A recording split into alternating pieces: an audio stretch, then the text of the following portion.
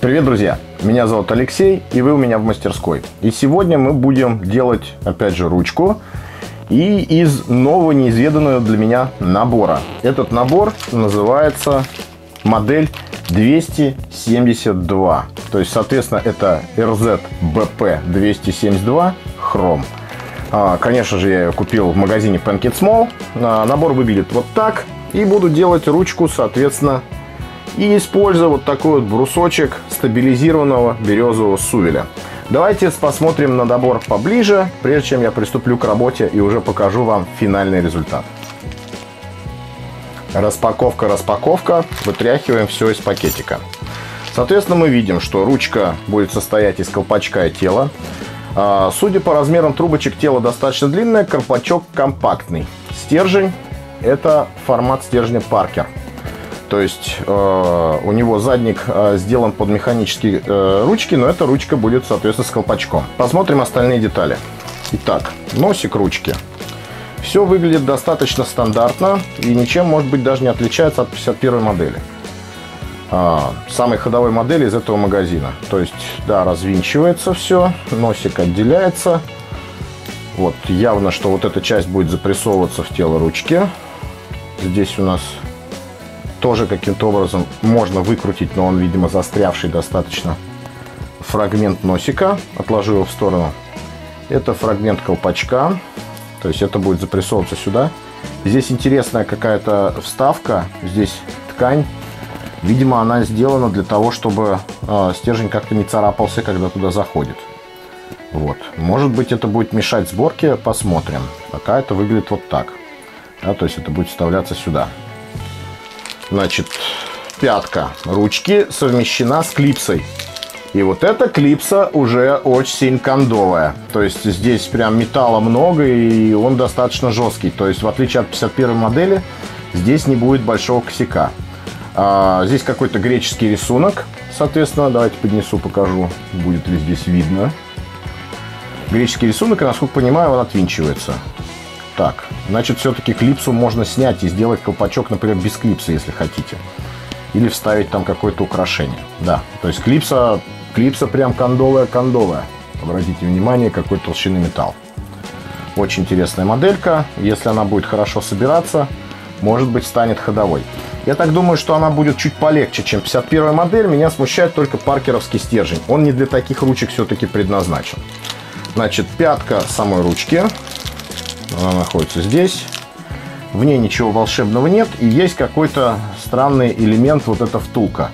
Скорее всего, я думаю, что это должно вот так вот упираться и компенсировать длину паркеровского стержня. Может быть, а, чем отличается посадка паркеровского стержня от э, стержня 110 мм стандартного, то что здесь пружинка, она на носике ручки, и она наоборот пытается втолкнуть э, стержень в тело ручки. И если вы вот эту часть укоротите, вот, этот, вот эту втулку. По какой-то причине у вас скол произошел на краю, и вы сошлифовали миллиметр ручки.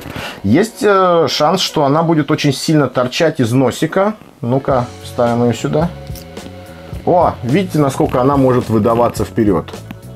То есть для этой ручки единственное критично, чтобы у нас она на размер втулки был вот такой вот. Иначе Иначе вам придется что-нибудь делать, подрезать пятку этого стержня. Благо ее можно подрезать, но понимаете сами, что если вы такую ручку продадите как кому-то, это значит человек будет пожизненно э, подрезать эти стержни, когда их будет менять.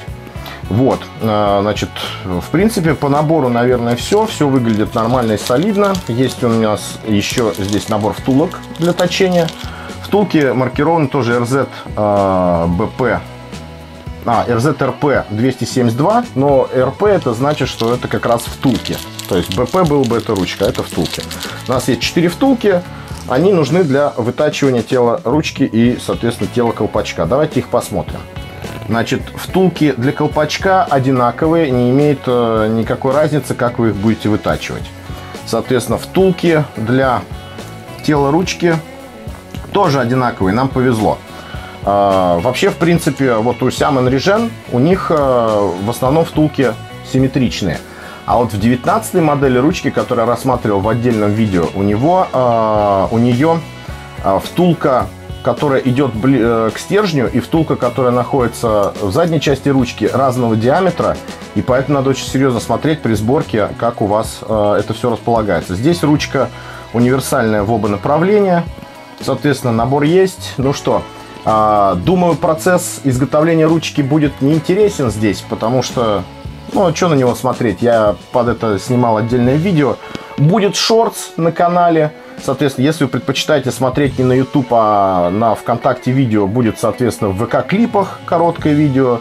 Ну, также выложу в Reels э, в Инстаграме. Будет видео о том, как эта ручка делалась. А, коротенькое, за одну минуту. А мы с вами посмотрим финальный результат.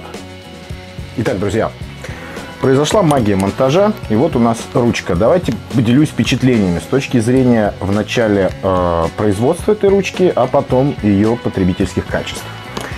Итак, с точки зрения производства, с, что будет сложным, это первое. Вот эта часть тела ручки достаточно большая, поэтому для сверления э, сквозного э, бруска вам потребуется длинное сверло. Помимо этого длинного сверла, Хорошо бы, чтобы у вашего токарного станка был достаточно большой ход пиноли, чтобы можно было просверлить его, не двигая заднюю бабку. У меня еле-еле хватило станочка на это дело, но ничего, все отлично. С точки зрения э, производства вроде бы все. Есть еще небольшая сложность в э, запрессовке вот этой задней пятки. А она почему-то все время у меня шла на перекос, а когда что-то идет на перекос, это значит, что оно может поломаться. А если оно может поломаться, это будет самая обидная вещь, то есть в конце самом у вас изделие ломается. Значит, э, ну, у меня все удачно сложилось, я все смог собрать. Значит, с точки зрения потребительских качеств этой модели, значит, у нее, во-первых, э, два захода, э, два захода, соответственно, резьбы, поэтому ошибиться можно только один раз. Вот я собрал ее правильно сейчас. Ручка достаточно тяжелая. А, к минусам можно отнести то, что колпачок никак не насаживается, не накручивается на пятку. То есть колпачок всегда будет отдельно. Значит, э, сидит в руке ручка достаточно хорошо. Баланс у нее интересный. Возможно, ей даже можно будет достаточно долго писать, а не просто подписывать документы. Значит, э, стержень сел отлично, здесь никаких э, проблем нет, он хорошо сидит, прочно, не, не торчит очень сильно. Рисунок ручки хороший, как бы и очень приятная история, то, что можно э, отвинтить вот этот колпачок, крышечку здесь и, соответственно, переместить клипсу туда, как вам хочется. Клипса жесткая, писец вообще, то есть не отломится. Моделька ну, достаточно удачно, смотрится гармонично. А, узорчик здесь вот э, такой ничего необычного. Вот здесь достаточно такой интересный все-таки греческий узор. Может быть, кому-то будет интересно. А, за счет того, что у нее э, тело как бы вот я, я обычно, когда произвожу ручки, я не делаю всяких вычурных вещей, типа там больших пузатостей каких-то. Ну и не делаю ручку совсем плоской. То есть она получилась так, что достаточно неплохо тело ручки изгиб, который я здесь взял, переходит вот в этот вот колпачок. И то же самое, что здесь. То же самое здесь произошло. И, ну, мне она нравится. Значит, вернемся к общей картинке. Итак, друзья, что я готов сказать об этой ручке?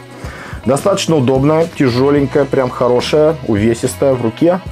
Подписывать документы самое то. Я еще ее попробую погонять с точки зрения писать, что-то там конспектировать по-быстрому. А, вполне может поконкурировать с 51 моделью а от того же производителя. Интересный у нее рисунок. И так как ручка делалась не на заказ, а я ее делал как эксперимент по работе с новой фурнитурой, может быть, я ее разыграю, а может подарю кому-нибудь. Посмотрим, будет лежать у меня ждать нужного момента. Пока что просто в событий никаких интересных э, в сообществе не происходило, чтобы устраивать розыгрыш. Если кто-то захочет выкупить, пишите. На этом спасибо, пока, ждите новых видео.